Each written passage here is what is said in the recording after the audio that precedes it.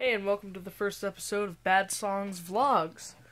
So, I'm still waiting for Tristan to send me his rap.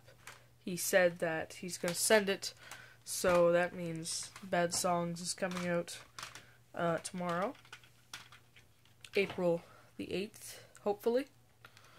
Um, anyways, uh, I've got all the CDs done here. They all have their own uh, all the covers are like the same, but uh, they are numbered individually.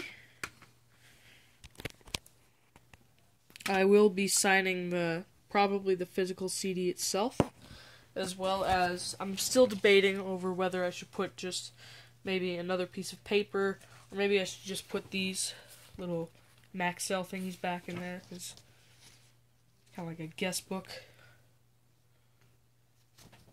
I'm still debating over what I should do, but um, we'll see. All uh, there's no information uh, on the discs yet. I'm just getting them all prepared. There's nothing on there as of right now. Uh, they're just a normal little Maxell disc. 650 entire megabytes on one CD disc. So, you know. Caesarea reference there, if you are into that. Anyways, uh, this is the paper I used to cut it out. I'm probably gonna sharpie the CDs soon, but I think I'm gonna do that after I'm finished burning the stuff on there. Um, I'm probably gonna write, uh, maybe actually in Sharpie, guest book on these write down your thoughts inside. Um, I'm gonna write something on the back of the little uh, insert cover saying please uh, leave your thoughts in the guest book and stuff like that. And uh, yeah.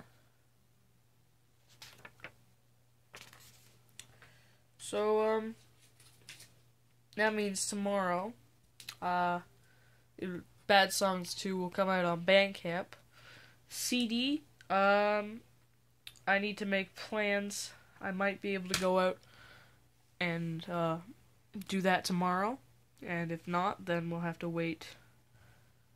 Uh, I can't do it on Sunday because a lot of thrift stores are closed on Sunday, so Saturday would be the ideal time or day, really.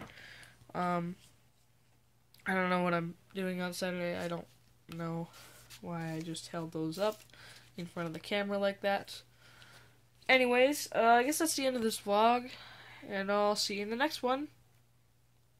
That was awkward.